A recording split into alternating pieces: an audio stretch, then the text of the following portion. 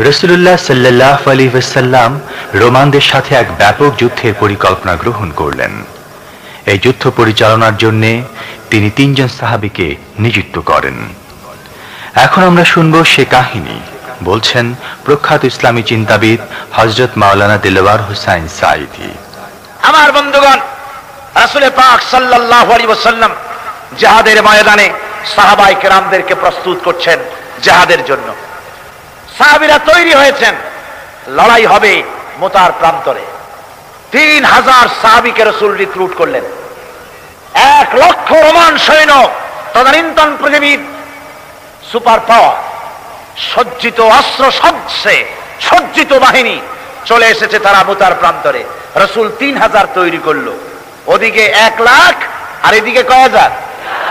হুজুর নিজে এই জাহাদেশ যাননি রাসুলে পাক বললেন, এই জেহাদের ময়দানে সেনাপতির দায়িত্ব পালন করবে আমার পালক পুত্র জাইদ। কোথায় তুমি? জাইদ দাঁড়িয়ে গেলেন দুই নম্বরে, এ জাহাদের সেনাপতির দায়িত্ব পালন করবে আমার চাচাতো ভাই জাফর বিন আবি তলেব। কোথায়? দাঁড়িয়ে গেলেন তিনি। তিন নম্বরে, দায়িত্ব পালন করবে আমার সাহাবি আবদুল্লাহ বিন রাওয়াহা। কোথায় তুমি? তিনিও দাঁড়িয়ে গেলেন। রসুল তাদেরকে বললেন যে, তোমরা চলে যাও। তোমাদের ঘরে গিয়ে বিবি বাল বাচ্চা মা বাপের কাছ থেকে সালাম করে আসো। আমার বন্ধুগণ, জেহাদের ময়দানে সেনাপতি কয়জন লাগে? হুজুর বললেন কয়জনের কথা? তিনজনের কথা। তার মানে হলো, কারও বুঝতে কোনো কষ্ট রইল না। এই জেহাদের ময়দানে তিনজনের নাম যে নবীজি ঘোষণা করেছেন, এর ভিতর থেকে একজনও ফিরে আসবে না। বোঝা হয়ে গিয়েছে হাজরাতে সাহেব বলেন, ইয়া আল্লাহি আমার আব্বা যান, আমি আপনার পালক পুত্র আপনি অর্ডার করেছেন। আমার মা হাজরত আয়েশা ঘরে বসে শুনেছেন। আমার তো আর যাওয়ার দরকার নাই, কারও কাছে বলারও দরকার নাই। হাজরাতে জাফর বিন আবি তালেব চলে গেলেন নিজের বাড়িতে। যে ডাক দিয়া বলে, বিবিরে, আল্লাহ রসুল আমাকে জেহাদের ময়দানে সেনাপতির দায়িত্ব দিয়েছেন। আমি তোমাকে বলতে এসেছি, সালাম করতে এলাম। তোমার সঙ্গে একসঙ্গে দীর্ঘদিন আমি ছিলাম। কোন হক তোমার আদায় করতে হয়তো পারি নাই। হয়তো জুলুম করেছি অথবা আমার দ্বারা তোমার অধিকার নষ্ট হয়েছে। কিছু যদি কোনো ভুল ত্রুটি হয়ে থাকে আল্লাহ রস্তে আমারে মাফ করে দিও। বিবি বলে, প্রাণের স্বামী রসুল্লাহ আপনাকে জাদের ময়দানের জন্য নির্বাচিত করেছেন। আমি আপনাকে ফিরে থাকতে বলতে পারব না। সুতরাং আমি আল্লাহর দরবারে দোয়া করি। স্ত্রী হাত তুলে বলেন রব্বুর আলমিন আমার প্রাণের স্বামী জাফর কি জাতির ময়দান থেকে গাজী বানায়া আমার ঘরের ভিতরে তুমি তাকে দয়া করে ফিরাইয়া দিও। হাজরাতে জাফর তরবারির উল্টা পিঠ দিয়া স্ত্রীর হাতের উপরে মৃদু আঘাত করলেন আর বললেন, বিবিরে উল্টা দোয়া করো না, উল্টা দোয়া তোমার আল্লাহর দরবারে কবুল হবে না। যেহেতু নবীজি আমার নাম দুই নম্বরে ঘোষণা করেছেন। আমার আগেও একজন আছে, পরেও আর একজন আছে। ও বিবি, নির্ঘাত ওই মুতার প্রান্তরে আমি শহীদ হয়ে যাব। জনমের মতো দেখা করতে আসলাম। এই জীবনে তোমার সাথে আমার আর দেখা হবে না। আমার বন্ধুগণ হাজরতে জাফরের স্ত্রী কানতেছেন বিবি বাচ্চাগুলা কান্দে। হাজরতে জাফর বলেন বিবিরে এই বাচ্চাগুলি রেখে গেলাম। যে রাস্তায় আমি জীবন দিতে যাচ্ছি, এই রাস্তায় আমার ছেলেগুলোকে তুমি তৈরি করবে। সালাম করে তিনি চললেন। বিবি কাঁচা কবুতরের মতো জমিনে ছটপট করতেছে কানতেছি আর পিছনে পিছনে ছোট্ট ছোট্ট ছেলে মেয়েগুলি আব্বা আব্বা বলে চিৎকার মেরে দৌড়াতেছি। হাজরাতে জাফর একবারও পিছনের দিকে তাকায় দেখলেন না, কারা কান্দে। হাজরত আবদুল্লাহ বিন রাহাব তিনি চলে গেলেন বাড়িতে। হাজরত আবদুল্লাহ বিন রাহাব বাড়িতে গিয়ে সেই রাত্র ছিল, তার বাসর সজ্জা, ফুল সজ্জার রাত ছিল। নতুন বিবাহ করেছেন। বাড়িতে গিয়া শোনেন, বিবি, কোরআনে কারিম তেলাওয়াত করতেছেন। হাজরাতে আবদুল্লাহ বলেন, রুমের বাইরে দাঁড়িয়ে বিবিরে আমি তোমার স্বামী আবদুল্লাহ, এসেছি, আমার সালাম নাও। কোরআন পড়া একটু বন্ধ করো। রসুল্লাহ আমাকে জেহাদের সেনাপতি বানিয়েছেন। আমি জেহাদে যেতেছি।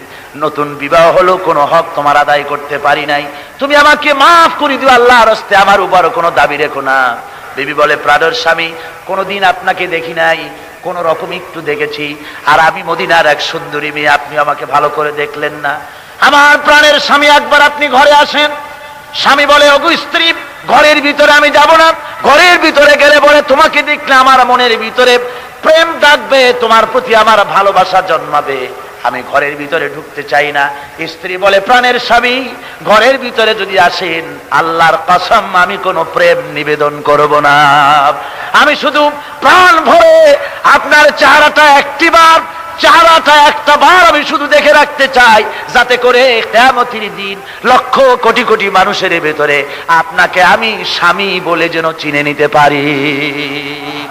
হাজরতে আবদুল্লাহ বলেন অগ স্ত্রী, যদি এই রাজা তোমার হয় আর যদি তুমি ধৈর্য ধারণ করে থাকতে পারো, তাহলে কেয়ামতির দিন আল্লাহ রব্বুর আলামিন, আমি যার জন্য জান দিতে যেতেছি, ওই মাহবুদ মেহেরবান জান্নাতের ভেতরে তোমাকে আমাকে স্বামী স্ত্রী হিসাবে পরিচয় করাইয়া দিবেন। তিন হাজার সৈন্য নিয়ে সাহাবাই কেরাম আর এই সেনাপতি সব চললেন। মোতার প্রান্তরে লড়াই হলো। এই লড়াইয়ের ময়দানে হাজরাতে জায়েদ অনেকগুলি কাফির সৈন্যকে জাহান নামে পাঠিয়ে দিয়ে তিনি নিজেও শহীদ হয়ে গেলেন। এবার জাফর হাতে হাতে তরবারি আর এক হাতে ঝান্ডা নিয়া এগোচ্ছেন সামনের দিকে। কাফেরেরা হজরত জাফরকে ঘিরে ফেলে দিল। আমার বন্ধুগণ, কাফেরেরা ঘিরে ধরে তরবারির আঘাত করল জাফরের ডান হাতে। ডান হাত কেটে ঝুলে পড়ল। হাজরতে জাফর এবার বাম হাতে তরবারি উঁচু করে ধরেছেন। এবার বাম হাতে কোপ দিল ওরা। এই কাটা দুইটা হাত দিয়ে বুকের সাথে হাজরতে জাফর ইসলামের পতাকাটাকে জড়ায় ধরলেন। পাশের সাহাবিকে ডেকে বলেন, ও রসুল্লাহর সাহাবি, সনব আল্লাহ নবীকে আমার সালাম বলে দিও আর শোনায়া দিও। জীবনের শেষ মুহূর্ত পর্যন্ত ইসলামের পতাকা উঁচু করে রেখেছিলাম, মাটিতে পড়তে দেই নাই। আমার মনে হয় আমি এখন শহীদ হয়ে যাব। যেহেতু আমি এখন আমার নাকের ভিতরে আল্লাহর জান্নাতের সুঘ্রাণ পেতেছি। হজরতে জাফর শহীদ হয়ে গেলেন। হজরত আব্দুল্লাহ বিন রাহাব হজরত আবু উবায়দা দুজনে মিলে ছুটলেন। ঝান্ডা ধরার জন্য ওনারা বলেন, এগিয়ে গিয়ে দেখি সামনের পরে দূরে পতাকা উঠতেছে। ভাবলাম আমরা যাওয়ার আগে ইসলামের পতাকা কে ধারণ করল? কাছে গিয়ে দেখি হাজরাতে জাফরের ডান হাত কাটা, বাম হাত কাটা, দুইটা পা কাটা, দেহটা একদিকে পড়ে আছে। আর শুধু মাথাটা এক পাশে পড়ে থেকে ইসলামের পতাকা কামড়ায় ধরে উঁচু করে রেখে দিয়েছে। আমার বন্ধুগণ হাজরাতে আবু উবায়দা বলেন, আমি হজরতে সাদের হজরতে জাফরের হাত পা মাথা মস্তক একত্রিত করে তার পা থেকে শুরু করে মাথা পর্যন্ত চুমা খাইলাম। তাকে জানাজা করে দাফন করে রাখলাম কবরের ভিতরে। রাতের বেলায় স্বপ্নে দেখি হাজরাতে জাফর আল্লাহর জান্নাতের ভিতরে ফেরেস তাদের সঙ্গে উড়ে বেড়াতেছেন আমি জিজ্ঞেস করলাম, ও জাফর, আল্লাহ তোমার সাথে কি ব্যবহার করেছেন? হাজরাতে জাফর বলেছেন আবু উবায়দা, আল্লাহ আলামিন আমাকে বলেছেন, জাফর রে, আমি তোমার শাহাদাতে খুশি হয়েছি। তোমার কাছে তুমি আমার কাছে আর কি চাও? হযরতে জাফর বলেন, আয় আল্লাহ পাক, কিচ্ছু চাই না। শুধু একটা দাবি, দুনিয়ায় তুমি মেহেরবানি করে আমাকে পাঠায়া দাও আর একবার আর একবার যদি যেতে পারি, তাহলে তোমার দুনিয়ার বুকে তোমার দিন কায়েমের জন্য কাফেরদের বিরুদ্ধে লড়াই করে আমার জীবনটা আর একবার দিয়ে আসি। আমার বন্ধুগণের জন্য আল্লাহ রসুল বলেছেন, হাদিস শরীফ এসেছে, আমার ইচ্ছে হয় জেহাদ করি, শহীদ হই, আবার যদি জেন্দা হই, আবার জেহাদ করি, শহীদ হই, আবার যদি জেন্দা হতে পারি, তাহলে আবার জেহাদ করি, আবার শহীদ হই। যেহেতু শাহাদাতের মতের মতো এত বড় মর্যাদা সম্পন্ন মৌত আর পৃথিবীতে হতে পারে না। আমার ভাইরা, ইসলামের জন্য জান দেওয়ার জন্য, মাল দেওয়ার জন্য সাহাবাই কেরাম এভাবে প্রস্তুত ছিলেন। নিজেদের জীবন তারা আল্লাহর সামনে নজরানা পেশ করেছেন, শহীদ হয়েছেন। আল্লাহ দিন কায়েমের জন্য তারা প্রচেষ্টা করেছেন। আল্লাহর পথে যারা জেহাদ করার সিদ্ধান্ত নেন, মহান আল্লাহ স্বয়ং তাদের সাহায্য করেন। যুগে যুগে আমরা এর প্রমাণ পেয়েছি। আর তাই মুসলমানরা কাফেরদের উপর বরাবর বিজয়ী হয়েছে। এই ইসলামকে প্রতিষ্ঠিত করার জন্য প্রয়োজন রয়েছে জাহাদের। কিসের প্রয়োজন? কিসের? জেহাদের প্রয়োজন। সেই জেহাদ করতে কি আপনারা তৈরি আছেন? জেহাদের জন্য তৈরি আছে সেই জেহাদ সেই জেহাদ কিন্তু, সেই জেহাদ মানে কি? সেই জেহাদের আবার অপব্যাখ্যা করা হয়েছে। জেহাদের অপব্যাখ্যা করা হয়েছে এইভাবে যে অলেকিন কলমদার কাফে দুশ্মনাস দুশ্মনের হাতে কলম ছিল, ওরা যেমন খুশি আমাদের ইতিহাসকে চিত্রিত করেছে। ওরা বলেছে, ইসলামের ইতিহাস থেকে তরবারি আর রক্তের গন্ধ আসে, কিন্তু আসলে জেহাদের অর্থ তো তরবারির যুদ্ধ নয়। জেহাদের অর্থ হচ্ছে যে কোনো উদ্দেশ্যকে সফলতায় পর্যবসিত করার জন্য যে প্রাণান্তকর প্রচেষ্টা করা হয়, ওই প্রচেষ্টার আরবি নাম হচ্ছে জেহাদ। আর যুদ্ধ, তার আরবি হচ্ছে হার্ব। যুদ্ধের আরবি কি? হার্ব। ওয়ার। ইংরেজিতে ওয়ার, আরবিতে হার্ব। আর জেহাদ যেটাকে বলা হয়েছে, ওটা হচ্ছে যে কোনো উদ্দেশ্যকে সফলতায় পৌঁছাবার জন্য যে চেষ্টা, ওই চেষ্টার নাম জেহাদ। তবে এই চেষ্টা করতে গিয়ে যখন বাধা আসে, সশস্ত্র, ওই সশস্ত্র বাধার মোকাবেলা সশস্ত্র ভাবে করা যেটা, ওইটা হচ্ছে জেহাদের চূড়ান্ত রূপ। কথা বুঝে আসছে? ইসলাম প্রথমে কাউকে আক্রমণ করে না। ইসলাম প্রথমে কাউকে আক্রমণ করে না। আক্রান্ত হলে পরে তারপরে এর জবাব দেয়। ঠিক কিনা? দেখেন না হাজরত আলী রবি আল্লাহ তালু ওই যে খাইবারের যুদ্ধে, সেইখানে কেউ খাইবারের এই দুর্গ মুসলমানদের হাতে আসে না। প্রতিদিন যুদ্ধ হচ্ছে, অথচ যুদ্ধে কোনো ফলাফল দেখা যাচ্ছে না।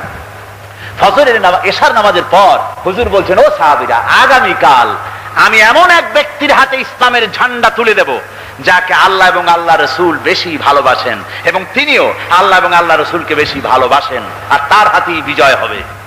হাজরে তোমার রদি আল্লাহ তালানহু বলেন, আমার এরকম পেরেশানির রাত জীবনে আর কখনো গেছে কিনা জানি না। আমি সারা রাত পেরেশান ছিলাম যে ওই ব্যক্তিকে আমি হতে পারব। ফজরের নামাজের পর আল্লাহর নবী বলছেন, সাহাবিরা আমার আলী কোথায়? তাকে দেখছি না কেন? সবাই বলছেন, হুজুর হজরত আলীর চোখ উঠেছে, তাই নামাজের জামাতে শরিক হতে পারেন নাই। হুজুর বললেন, তাকে নিয়ে আসুন দুজন সাহাবির কামদের উপরে ভর করে হজরত আলী এলেন। হুজুর সাল্লাম তার মুখের থুতু মোবারক নিয়ে হজরত আলীর চোখে লাগিয়ে দিলেন। সাথে সাথে আগের থেকেও ভালো দৃষ্টিশক্তি সম্পন্ন হয়ে গেলেন। তো এখানে রাসূল আলাইহি ওয়াসাল্লাম তিনি হযরত আলীর হাতে তরবারি উঠায় দিলেন। জুলফিকার বললেন, আলী, তুমি যাও আজকের ময়দানে সেনাপতির দায়িত্ব পালন করো। হজরত আলী তরবারি হাতে নিলেন। ইসলাম আক্রমণকারী যে না, সে কথা বলতে আমি এই কথা নিয়ে আসছি। হাজরত আলী গেলেন জায়া মুরাহাবের সামনে পড়েছেন। মুরাহাব হলো হাদিসে এসছে মুরাহাব হচ্ছে কাফেরদের নেতৃত্ব দিচ্ছে। মুরাহাব বলছে, আলী, তোমাকে আমি কিন্তু ভালোবাসি। তুমি আসলে কেন? তোমার প্রতি আমার একটা সফট কর্নার আছে, আমার অন্তঃকরণে। তুমি তোমার ছেলে মেয়েকে কি এতিম বানাতে চাও? তোমার বউকে কি বিধবা করতে চাও? আমি তো সেই বীর যে আমার সামনে এসে কেউ কল্লা সাথে নিয়ে যেতে পারে নাই। সুতরাং তুমি যদি ওদেরকে এতিম আর বিধবা করতে না চাও, আমার সামনে থেকে সরে যাও। হাজরাতে আলী বলেন, মুরাহাব তুমি কাকে ভয় দেখাতেছ? তোমার তরবারি, এই সমাজের কিছু কাফেরেরা ভয় করতে পারে। তুমি কি আমারে চেনো নাকি? তুমি কারে ভয় দেখাও? তাম পৃথিবীর সমস্ত কাফেরদের উপরে আল্লাহ রব্বুল আলামিন আমাকে বাঘ বানায় পাঠিয়েছে তরবারি দিয়া প্রমাণ হবে। মুনাহাব বলে তুমি আঘাত করো, কয় না? আক্রমণ তো করব না আমি। আগে তুমি করো, আমি প্রতিহত করব। আক্রমণ, আক- আক্রান্ত হলে পরে তারপরে জবাব দেব। এরপরে মোরাহাব আঘাত হানতে লাগল। হাজরাতে আরিফ সমস্ত রণকৌশল দিয়ে আঘাতগুলি তিনি ফিরিয়ে দিতে লাগলেন। এরপরে হাজরাতে আলী বলছেন মোরাহাব এবার তৈরি হওয়া আমার আঘাত সহ্য করার জন্য। হাজরাতে আলী জুলফিকার তুলে আঘাত করলেন। এক আঘাতেই দেখা গেল মুরাহাবের মাথা থেকে শুরু করে শরীর টুকরা হয়ে গিয়া হযরত আলীর তরবারি, তরবারির মুঠা পর্যন্ত মাটির ভিতরে গেড়ে গিয়েছে। খায়বারের দুর্গ দখল হয়ে গেল। পরের দিন আল্লাহর নবী বলেন, আলী, শুনতে পেলাম তোমার ঢাল ভেঙে গিয়েছিল। তারপরে তুমি যুদ্ধ করলে কি দিয়ে? হাজরত আলী বলেন, হুজুর কামুজ দুর্গের ওই কবাতটা, লোহার কবাতটা বাম হাতে নিয়া আর ডান হাতে তরবারি নিয়ে লড়াই করেছি। হুজুর বলেন, কি করে? মানুষ কেমনে এত বড় দুর্গের লোহার কপাট হাতে নিয়ে যুদ্ধ করে? একটু দেখাও তো দেখি। হাজরত আলী গতকালকের মতো বাম হাত দিয়া ধরেছেন, নাড়াতে পারেন না। এবার ডান হাত দিয়া ধরেছেন, নাড়াতে পারেন না। ডান আর বাম দুই হাত দিয়া সমস্ত শক্তি দিয়ে এমন জোরে টান বেড়েছেন প্রতিটি লোমকূপের গোড়া থেকে ঘাম বেরিয়ে এসেছে। এক চুলো নড়াতে পারেন নাই। হাজরত আলীর মুখখানা মলিন হয়ে গেছে লজ্জায়। হাজরতে আলী রাদি আল্লাহ তালানহু লজ্জা পেয়ে গেছেন। রাসুল পাক আলাইহি সাল্লাম বলেন, আলী, লজ্জা পাওয়ার কোনো কারণ নাই, চিন্তা করার কোনো কারণ নাই। তোমার নিজস্ব শক্তি দিয়া তুমি লড়াই করতে পারো নাই। এত বড় লোহার, এত বড় লোহার নিয়ে মানুষ সেভাবে লড়াই করতে পারে না। আল্লাহ তার দিনকে বিজয়ী করার জন্য তোমার ভিতরে আল্লাহ রব্বুর আলমিন ক্ষমতা দিয়েছিলেন। জোরে বলেন সুবাহান আল্লাহ রব্বুর আলমিন এই জাহাদের ময়দানে যখন মানুষ আসে, আল্লাহ তাদের উপরে মদত দান করেন। আমার বন্ধুগণ আল্লাহর দিনকে জমিনের উপরে প্রতিষ্ঠিত করার জন্য যদি আমরা আজও যদি ঐক্যবদ্ধ হই, দিন কায়েমের জন্য, তাহলে আল্লাহ রব্বুল আলামিন আমাদেরকে মদত করবেন। আল্লাহ পাক কোরআনে কারিমের মধ্যে বলেছেন, ওয়া কানা হাক্কান আলাইনা নাসরুল মুমিনিন। মুমিনদেরকে সাহায্য করা আমি আল্লাহর জন্য ওয়াজিব হয়ে যায়, জোরে বলেন, সুবহানাল্লাহ। মুমিনদের জন্য সাহায্য করা আল্লাহর জন্য কি হয়ে যায়? ওয়াজিব হয়ে যায়। বাইরে একটু বৃষ্টি সহ্য করেন না, খুব বেশি বৃষ্টি আচ্ছা ওই, এটা রহমত। এটা কি? রহমত। আমার ভাইরা যাহাদের ভিতরে সাহাবাইকরাম আল্লাহর জান্নাতে যাওয়ার জন্য তারা জেহাদ করেছেন। তারা দেশ দখলের জন্য জেহাদ করেন নাই। দিন প্রতিষ্ঠার জন্য লড়াই করা ফরজ। দিন প্রতিষ্ঠার জন্য লড়াই করা কি? জোরে কোন কি? আর এই ফরজ দায়িত্ব পালন করতে গিয়ে যদি কেউ মারা যায়, তাহলে কোথায় যাবে? কোথায় যাবে? ওই শাহাদাতের মত হচ্ছে একটা সেতু একটা সেতু বা একটা ব্রিজ, একটা সাঁকো। এপারে দুনিয়া, ওপারে আল্লাহর জান্নাতুল ফেরদাউস। জোরে বলেন, সুবহানাল্লাহ। এই জন্য হযরত ওমর ফারুক রাদিয়াল্লাহু তাআলা নু সব সময় দোয়া করতেন, আল্লাহুম্মা রযুকনি শাহাদাতান ফি সাবিলিক ওয়াজআল মাউতি ফি বালাদ ফি বালাদ রাসূলিক। আল্লাহ রাব্বুল আলামিন আমাকে রাসূলের শহরে মওত দাও আর আমাকে তোমার দ্বীনের রাস্তায় শাহাদাত মঞ্জুর করো। জোরে বলেন আমিন। এটা আমাদের দোয়া। আমারও দোয়া। আমার সারা জীবনের স্বপ্ন সারা জীবনের স্বাদ। আল্লাহ যেন শাহাদাতের মত নসিব করে দেন জোরে বলেন আমি এর থেকে উন্নত মানের মত আর নাই। ওই প্যারালাইসিস হয়ে বিছানায় পড়ে তড়পায় তড়পায় মরার কোনো দাম নাই। দুনিয়ার বুকে বিড়ালের জিন্দিগি বছর করার পাঁচশো বছর বেঁচে থাকার দাম নাই। সিংহের মতো এক সেকেন্ড বেঁচে থাকার দাম আছে, ঠিক কিনা? আর মৌত প্লিহা যকৃত, typhoid, paralysis, diabetes, heart attack, kidney পচে যাওয়া, হাবিজাবি মৌতের চাইতে আল্লাহ রাস্তায় জাহাদ করে শাহাদাতের মৌত সর্বশ্রেষ্ঠ মৌত, জোরে কান সুবহানাল্লাহ। আমার ভাইরা রাসূলে পাক রাসূলে পাক সাল্লাল্লাহু আলাইহি ওয়াসাল্লাম তিনি মদিনা মুনাওয়ারায় মদিনা মুনাওয়ারায় এসে প্রথম যে জাহাদের সম্মুখীন হলেন, ওইটার নাম কি? কোন জাহাদ? বদর। কোন জেহাদ? বদরের জেহাদ। সেই বদরের মাঠে জেহাদের জন্য রসুল সাহাবিদেরকে তৈরি করতেছেন। তো আপনারা চিন্তা করেন বিষয়টা, জেহাদ করতে হবে এই বদরে সাহাবিরা জেহাদ করবে কাদের বিরুদ্ধে? নিজের বাপের বিরুদ্ধে। রসুল পাক খুব চিন্তিত হলেন যে সাহাবিদেরকে কীভাবে উদ্বুদ্ধ করা যায়? হুজুর জেহাদের কথাই বলতেছেন যে এখন বদরে আমাদের টিকে থাকার প্রশ্ন। এইটা মুসলমানদের টিকে থাকার প্রশ্ন বদরের যুদ্ধ, বদরের এই জাহাজটা হুজুর যখন এগুলি বলতেছেন হাজরতে মেকদাদ আনহু রাসূলুল একজন জলিলুল কদর সাহাবী, তিনি দাঁড়িয়ে বলছেন, হে আল্লাহ রাসূল, কেন আপনি চিন্তা করছেন? ইমজি বিনা ইয়া হাইসুমা তাশা। হে আল্লাহ রাসূল, আপনি আমাদেরকে নিয়ে চলুন। যেদিকে আপনার খুশি। হাইসুমা আমার আকাল্লাহ যেদিকে আল্লাহ আপনাকে নির্দেশ করেন, সেদিকে আমাদের নিয়ে আপনি সেদিকেই চলুন। ইন্না লা নাকুলু লাকা কামা ক্বালা বানু ইসরাঈল লি মূসা আলাইহিস সালাম। ইযহাব আনতা ওয়া রাব্বুকা ফাকাতিলা। ইন্না হাহুনা কায়িদুন বুখারী শরীফের হাদিস। হযরত মিকদাদ রাদিয়াল্লাহু তাআলা আনহু বলছেন হে আল্লাহ রাসূল, আপনি আমাদের নিয়ে চলুন। আল্লাহ যেদিকে আপনাকে আমাদের নিয়ে যেতে বলেন, সেই দিকে নিয়ে যান। আমরা মুসা সালামের উম্মতের মতো বলব না যে, হে মুসা, আপনি আর আপনার আল্লাহ দুজন গিয়া যুদ্ধ করেন, আমরা এখানে বসে থাকি, এমন কথা আমরা বলব না। বাল ইজহাব আনতা ওরাব্বুকা ফাকাতিলা, ইন্না মাকুমা মুকাতিলুন। ও নবী, বরং আমরা বলব, আপনি চলুন আমাদের নিয়ে, আপনি এবং আপনার আল্লাহ চলুন জিহাদের ময়দানে। আমরা আপনার সঙ্গে জেহাদ করব, লড়াই করব, সেই পর্যন্ত যতক্ষণ পর্যন্ত আমাদের একটা চক্ষুর পলক পড়ে, যতক্ষণ পর্যন্ত একটা চোখের পাতা নড়ে, ততক্ষণ পর্যন্ত আমরা কাফেরদের বিরুদ্ধে লড়ব। বিহামদিহি, যতক্ষণ চোখের পাতা নড়ে, ততক্ষণ পর্যন্ত লড়ব। নিয়ে চলুন আমাদেরকে। হুজুর খুব খুশি হলে আহারে, রাসুলে পাক সাল্লাল্লাহু আলাইহি ওয়াসাল্লাম দারুণ ভাবে খুশি হয়ে গেলেন। হুজুর বললেন, ও সাহাবীরা, তোমাদের মানসিক অবস্থা যখন এই, কুমু বিনা ইলা জান্নাতিন। চলো আমার সাথে বেহেশতের দিকে, সুবহানাল্লাহ। সবাই বলেন, সুবহানাল্লাহ। কুমু বিনা ইলা জান্নাতিন।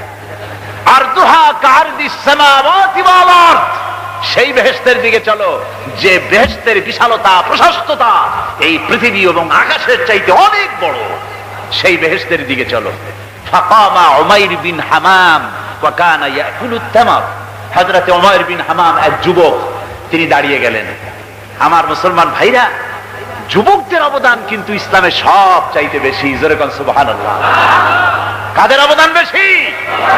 সর্বপ্রথম ইসলাম কবুল করেছে কারা? যুবকরা। হজরত আবু বকর হজরত অমর তাদের বয়স, যুবক বয়স ছিল। যুবক বয়সে তারা ইসলাম কবুল করেছেন। হজরত আলী যুবক ছিলেন। এই জন্য যুবকদের এবাদতে সব বেশি। রাসুল পাক বলেছেন, কেয়ামতের ময়দানে সাত, যেদিন কোন ছায়া থাকবে না, আর সে আজি মেরে নিছে সাত শ্রেণির লোকেরা ছায়া পাবে। তার মধ্যে এক শ্রেণি হচ্ছে ওই যুবকেরা যারা নাকি রাত গুজরান করে, রাত কাটায় আল্লাহর ইবাদতে, রাত জাগে, আল্লাহর ইবাদত করে, জোরে কল, সুবহানাল্লাহ। বুড়োদের একশো বার আল্লাহ বলা, আর এক যুবকের একবার আল্লাহ বলা। বৃদ্ধের সারা সপ্তাহ তাহাজ্জত পড়া, আর যুবকের এক রাত্রের তাহাজ্জত পড়া। মনে হয় তার থেকেও বেশি, কল, সুবহানাল্লাহ তাই বলে বৃদ্ধ যারা, তারা কিন্তু হতাশ হবেন না। ওই যৌবন কাল আপনিও পেরিয়ে এসছেন। ঠিক না? সুতরাং যুবকদের অবদান বেশি। হাজরত বিন হামাম হরদি আল্লাহ তিনি দাঁড়িয়ে গেলেন। তার হাতে ছিল তিনি খোরমা খাচ্ছিলেন। হাতে ছিল কয়েকটা খোরমা। তিনি খোরমাগুলি হাতে নিয়ে দাঁড়িয়ে বলছেন তিনি বলছেন বাখ বাখ শব্দ এটা হচ্ছে লোকাল মহাল্লিয়া, অর্থাৎ আঞ্চলিক শব্দ। এর অর্থ হচ্ছে মা আজানাহু বা মা আহসানাহু। কি আশ্চর্য, কি সুন্দর, কি বিরাট, কি সুন্দর কথা আপনি বললেন হে রাসূল। জান্নাতুন আর দুহা তারদিস সামাওয়াতি ওয়াল আরদ। এমন বেশ তো পাওয়া যাবে জিহাদ করলে যে বেহেশতের বিশালতা, প্রশস্ততা, এই বিশাল আকাশের চাইতে, জমিনের চাইতে বেশি। ওয়াল্লাহি লাউ কুনতু হাইয়ান হাত্তা আকুলাহুন্না। আমি যদি আল্লাহি আল্লাহর কসম আমি যদি এই এই খোরমাগুলো যদি খাইতে থাকি, ইন্নাহা তাহলে তো এটা অনেক লম্বা হায়াত লাগবে। এই খোরমাগুলি খাইতে অনেক সময় লাগবে, বেহেশতে যাইতে দেরি হয়ে যাবে। সুতরাং এই খোরমা তো আর খাওয়া যাবে না। ফারামাবিহীন না হাতের খোরমাগুলি সব ফেলে দিয়ে যাদের ময়দানে লাফায় পড়লেন। অনেকগুলি কাফেরকে জাহান্নামের ঘাটে উতরায় দিয়া হযরত ওমর নিজেও শাহাদাত বরণ করলেন। জেহাদের শেষে জেহাদের শেষে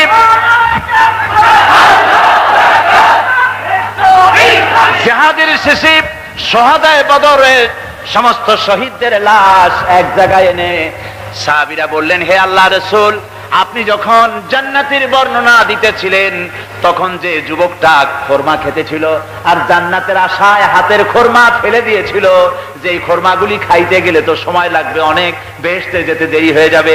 এই কথা মনে করে হাতের খোরমা ফিকে ফেলে, যাদের ময়দানে এসে শাহাদাত বরণ যে যুবকটি জাহাদ করেছিল, তার লাশে সেও শাহাদাত বরণ করেছে। রাসুলে পাক হাজরা তোমায়ের চারার দিকে লক্ষ্য করে তার দিকে অঙ্গুলি সংকেত করে হুজুর বলছেন, ইন্নাকা মিন আহলিহা। ও মায়ের যে বেহেশতের জন্য তুমি খরমা খাওয়ার ধৈর্য ধরতে পারো নাই, আমি নবী সাক্ষী দিচ্ছি, তুমি সেই জান্নাতের অধিবাসী। আমার ভাইয়েরা ওই জান্নাতে যাওয়ার জন্য, আল্লাহ দিনকে প্রতিষ্ঠার জন্য আমাদেরকে ঐক্যবদ্ধ হতে হবে। আল্লাহ দিনের জন্য, আল্লাহ নবীর যে আদর্শ, সে আদর্শ প্রতিষ্ঠার জন্য এগিয়ে আসতে হবে। যদি আমরা তা করতে পারি, আমরা সংখ্যায় কত, আমাদের অস্ত্র আছে কি নাই, আমাদের জনবল কত, আমাদের সৈন্যবল কত, এগুলি প্রশ্ন না। প্রশ্ন হচ্ছে ولا تهنوا ولا تحزنوا وأنتم الأعلون إن كنتم مؤمنين কোনো ভয় নাই কোনো চিন্তা নাই যদি তোমরা মোমেন হও আমি আল্লাহ তোমাদেরকে বিজয়ী করবো জোরে বলেন সুবাহান আল্লাহ মুসলমানেরা তো সেই জাতি যাদের ময়দানে যখন মুসলমানদেরকে সাহায্য দরকার হয়েছে আল্লাহ রব্বুর আলমিন আকাশ থেকে ফেরেস্তা নাজিল করেছে কিনা কোন কবি বলছেন, ফিজায়ে বদরি پیدا کن فرشتے تیری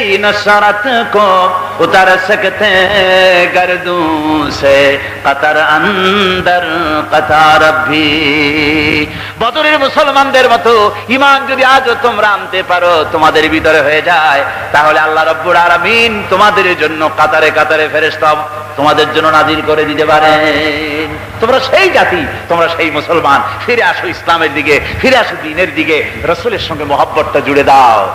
কি মোহাম্মদ সি তেরে হ্যাঁ। ये जहां चीज ही क्या लोहे कलम तेरे মোহাম্মদ সাল্লামের সঙ্গে তুমি যদি মহব্বতের সম্পর্ক স্থাপন করতে পারো অনুসরণ আর অনুকরণের তাহলে আকাশ আর জমিন তো দূরের কথা লোহ কলম পর্যন্ত আল্লাহ তোমার জন্য করে দিবেন আমিন ربنا ظلمنا